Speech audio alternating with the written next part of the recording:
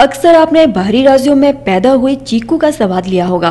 लेकिन हमीरपुर जिला में भी अब चीकू की खेती होना शुरू हो गई है। चीकू को यहाँ कामयाब कर हमीरपुर जिला के कोटला गाँव के पुरुषोत्तम शर्मा ने मिसाल पेश की है। पुरुषोत्तम शर्मा ने बताया कि 15 वर्ष पूर्व उन्होंने पंजाब राज्य के आदमपुर से चीकू के पौधों को लगाने के लिए खरीदा था, जिसमें से केवल एक पौधा ही कामयाब हो पाया है, जो आज चीकू की भरपूर फ़सल दे रहा है, जिसको लेकर पुरुषोत्तम शर्मा और परिवार के सदस्यों ने खुशी ज़ाहिर की है।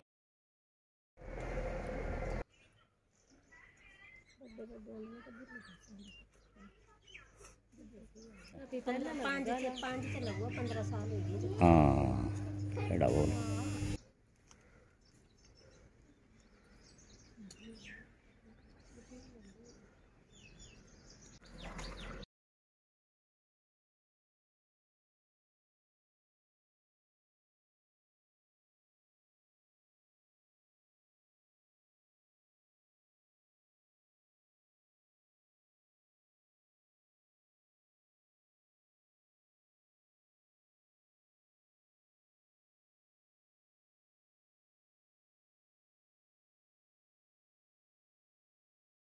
अक्सर आपने चीकू को देश के बाहरी राज्यों में देखा और बाहरी राज्यों में पैदा हुए फलों का जायका लिया होगा। लेकिन हिमाचल के किसान पुरुषोत्तम शर्मा ने चीकू का पेड़ लगाकर मिसाल पेश की है। आपको बता दें कि चीकू भारत में अमेरिका के उष्ण कटिबंधीय भाग से लाया गया था। भारत में चीकू मुख्यतः गुजरात, महाराष्ट्र, कर्नाटक तथा तमिलनाडु राज्यों में इसकी बड़े पैमाने में खेती की जाती है। लेकिन हिमाचल एक ठंडा प्रदेश है। फिर भी किसान पुरुषोत्तम शर्मा ने चीकू के पौधे को कामयाब कर दिखाया है, जिसकी बागवानों द्वारा जमकर सराहना की जा रही है। किसान पुरुषोत्तम शर्मा की माने तो उन्हें शुरू से ही बागवानी का शौक रहा है, जिसके चलते उन्होंने 15 वर्ष पूर्व पंजाब राज्य के आदमपुर से कुछ चीकू के पौधे लाए थे, लेकिन जिसमें से कड़ी देखभाल कर एक पौधा कामयाब हो पाया है, जिसने दो वर्ष बाद ही फल देना शुरू कर दिया। अब ये पेड़ पूरी तरह से फलों से लदालद हो चुका है। जिसको देखकर हर किसी का मन ललचा जाए। पुरुषोत्तम शर्मा ने बताया कि उन्होंने अपने बगीचे में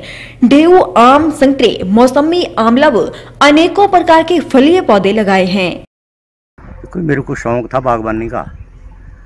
मैं बाहर अंदर जहाँ भी जाता था, ट्राला था मेरे पास तो दुकानदारी के काम से जब भी कहीं जाता था, कोई मेरे को, मेरे मतलब का पौधा मिलता था, मैं ले आता था। और जो कोई कलम करने वाले पौधे हैं कुछ वो कलम भी मैं खुद करता हूँ। तो ये पौधा, चीकू वाला पौधा जो है वो मैं लेके आया था आदमपुर पंजाब से। तो अब तो ये पौधा हो गया पंद्रह साल का। और जब मैं इसमें चार पाँच साल का हुआ था जब इसको फल लगना शुरू हो गया था। अब इसमें इतना फल लगता है कि ये, इसकी जो डंडी हैं झोंक कर ज़मीन से लग जाती हैं, और एक नौजवान आदमी को अगर मैं चार फल दूँ तो चार फल खाने बहुत मुश्किल हो जाते हैं इसके। इतना बड़ा फल है, मैंने बाज़ार में इतना बड़ा फल चिक्कू का नहीं देखा है।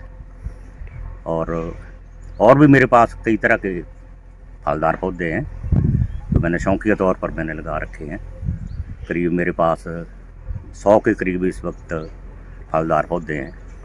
ये वहीं पुरुषोत्तम शर्मा की पत्नी गायत्री देवी ने बताया कि उन्होंने हमीरपुर जिला में कहीं भी चीकू का पेड़ नहीं देखा, लेकिन उनके पति ने ये पेड़ उगाकर मिसाल पेश की है, जिसको लेकर उन्होंने खुशी ज़ाहिर की है।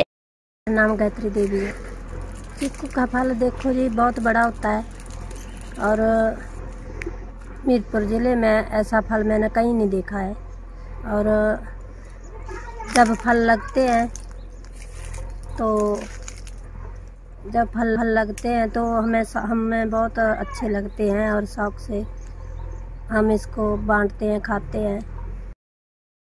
वहीं उनकी बहू अनीता कुमारी ने चीकू के फल लगने पर खुशी ज़ाहिर की है। उन्होंने कहा कि चीकू का पौधा उन्होंने हिमाचल में कहीं नहीं देखा लेकिन उनके ससुर ने ये पौधा लगाकर मिसाल पेश की है।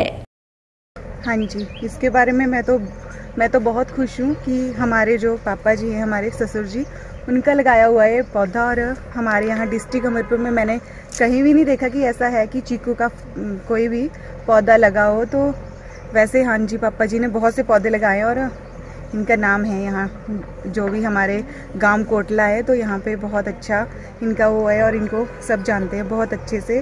और देख सकते हैं आप, फल तो बहुत ज़्यादा लगे और कुछ टाइम में ये बड़े बड़े इससे भी बड़े हो जाएँगे।